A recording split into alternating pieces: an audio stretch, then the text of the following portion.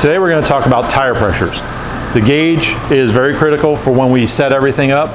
It's a digital gauge and what we're going to do here today is that we're going to show how you set the tire pressures at the beginning and then what we check after a run because how much the tire builds is going to be very critical on how the car performs on the track and whether there's too much bite, not enough bite.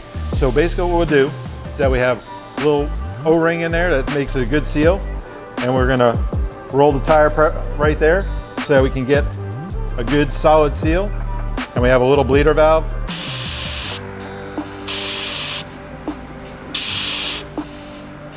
And there's your half pound adjustment.